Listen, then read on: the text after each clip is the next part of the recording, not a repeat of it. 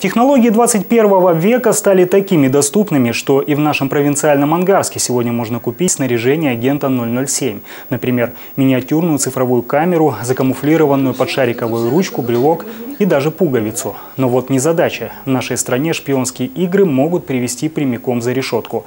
В декабре 2011 года в Уголовном кодексе появилась статья 138 «Незаконный оборот специальных технических средств, предназначенных для негласного получения информации». В прошлом прошлом году Ангарским следственным комитетом в суд было направлено одно уголовное дело, возбужденное по данной экзотической статье. Хотелось бы предупредить, потому что э, даже вот по уголовному делу, которое в 2015 году было направлено в суд, э, преступник э, заявлял, что он не знал, что вообще такая статья существует в Уголовном кодексе.